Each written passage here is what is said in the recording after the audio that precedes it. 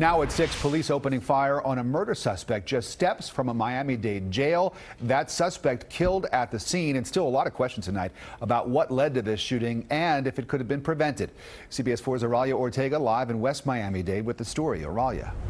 Rick, the Florida Department of Law Enforcement is out here investigating this police-involved shooting that happened right behind the jail on the north side. This caused a lot of commotion in the area with people who work nearby thinking there was an escaped inmate and it even led to a lockdown at the jail. Crime scene tape up everywhere as Chopper 4 is over the scene outside Turner Guilford Knight Correctional Center in West Miami-Dade. We thought it was an escape.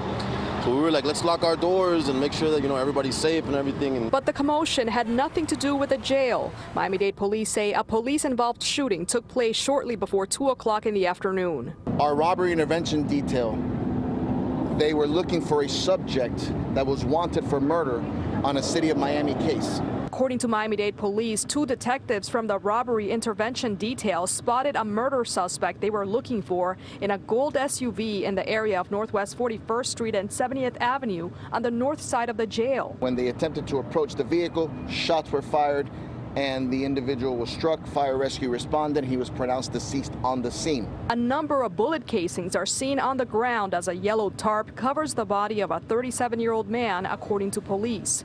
People who work nearby were startled by the scene. But I just seen the whole commotion. I seen all the helicopters. I knew something serious had happened once I saw the helicopters and all the police presence. The shooting leading to a lockdown at the jail. It is on lockdown at this point.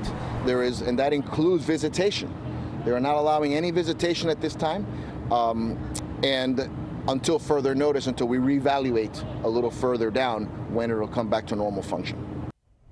And back out here live, Miami-Dade Corrections told us just a little while ago that the lockdown has been lifted and visitations will resume at 8 o'clock. Police have not yet released the name of the man who was shot, and we are working to gather more information on the murder he was accused of committing from City of Miami Police. For now, live in West Miami-Dade, Oralia Ortega, CBS 4 News. Oralia, thank you. The